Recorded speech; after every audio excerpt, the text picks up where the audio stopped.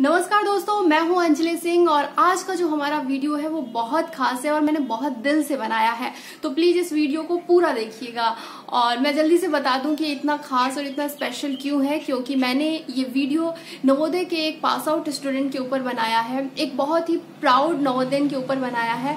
उनका नाम है उमर फयाज और वो नवोदय से पढ़े हुए हैं। उनके ऊपर ये वीडियो क्यों बनाया गया है और मैं इतनी एक्साइटेड क्यों हूँ आप लोगों से वो वीडियो शेयर करने के लिए? क्योंकि मैं काफ़ी दिनों से कोशिश कर रही थी उनके ऊपर ये, इस तरीके का एक वीडियो बनाऊँ।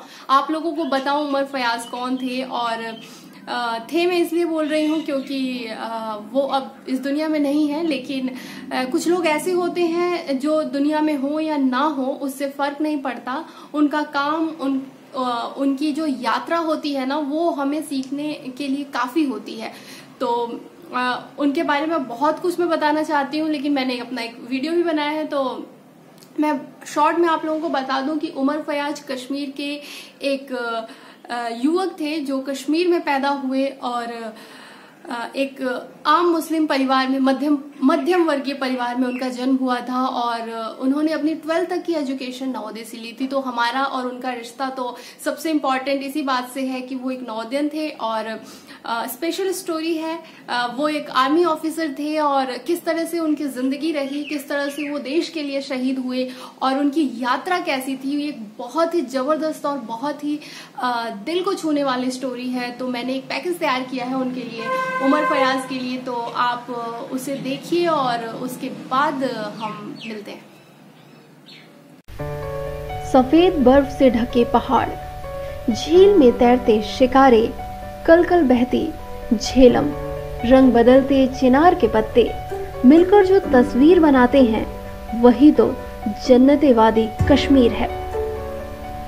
इसी कश्मीर के एक छोटे से गाँव, कुलगाम में 8 जून उन्नीस सौ चौरानवे को एक कश्मीरी मुस्लिम परिवार में एक बच्चे का जन्म होता है, जिसका नाम था उमर फयाज। जिस दौर में उमर का जन्म हुआ, उस दौर में कश्मीर इस्लामी आतंक की आग में जल रहा था।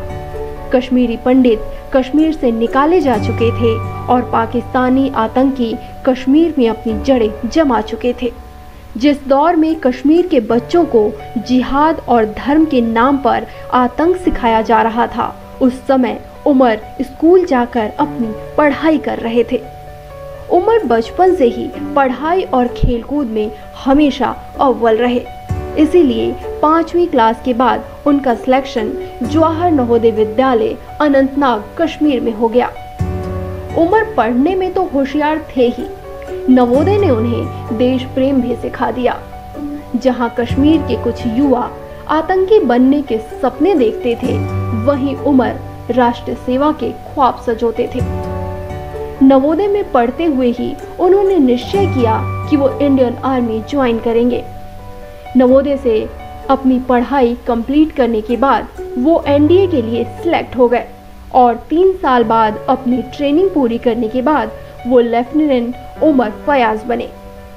मगर कश्मीर के वो गद्दार जो आतंक के सपने सजोए बैठे थे, उन्हें उमर फयाज का ये राष्ट्र प्रेम कहाँ पसंद आना था? उन्होंने उमर को धमकी देनी शुरू कर दी कि वो अपनी नौकरी छोड़ दे। मगर उमर भारत माँ का वो शेर दिल बेटा था, जिसे मौत से डरने की ज़रूरत नहीं थी। उसने हर धमकी को नजरअंदाज कर दिया। और भारतीय सेना के राजपुताना राइफल में बतौर लेफ्टिनेंट अपनी सेवा शुरू कर दी। उमर पहली बार छुट्टी लेकर अपने चाचा की बेटी की शादी में शामिल होने कश्मीर आए थे। वहीं पर कुछ आतंकियों ने उन्हें अगवा कर लिया। आतंकियों ने उमर को रात भर टॉर्चर किया, तकलीफ़ दी, मजबूर किया कि वो अपनी सेना की नौकरी छोड़ दे। उमर ने आतंकियों के सामने घुटने टेकने से बेहतर मौत को गले लगाना चुना।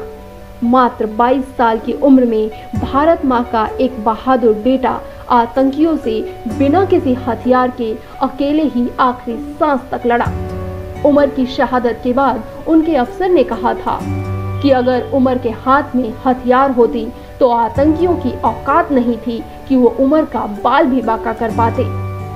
9 मई 2017 को 22 साल की उम्र में अपनी दो बहनों और माता पिता को अकेला छोड़कर हमेशा के लिए चले गए फयाज। फयाज के मौत के बाद उनके गाँव का हर बच्चा उनकी तरह बनना चाहता है। उन्हें अपना रोल मॉडल मानता है। सेना ने फयाज के नाम पर उनके गाँव के स्कूल का नाम उमर फयाज रखा है, जहाँ पर पढ़ने वाला हर बच्चा उन्हें अपना हीरो मानता है। उमर हमेशा कहा करते थे कि मैं अपने कश्मीर को बदलूँगा। मैं इसे फिर से धरती का जन्नत बनाऊँगा। उमर का ये सपना अब उनके गाँव का हर बच्चा पूरा करना चाहता है।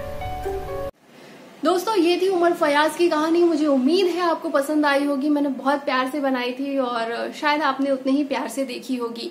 बहुत छोटी सी उम्र उमर फयाज इस दुनिया में लेकर आए थे, लेकिन जाते जाते वो इस देश के हीरो बन गए। तो ये कहानी थी जो मुझे आप तक पहुंचानी थी। मैं कोशिश करूँगी इसी तरह की कुछ और स्पेशल कहानियाँ मैं आप लोगों के लिए लेकर आऊँ और नवोदय से हमारा ये रिश्ता यूँ ही बना रहे। तब तक के लिए नमस्कार।